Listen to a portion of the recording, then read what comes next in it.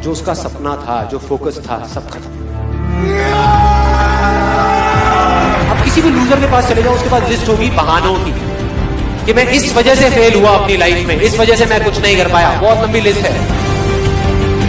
दूसरी तरफ़ विनर के पास चले जाओ, उसके पास में हज़ार वजह होगी वो ना करने की जो वो करना चाहता है, सिर्फ़ एक वजह होगी वो करने की जो वो करना चाहता है, और वो कर जाएगा।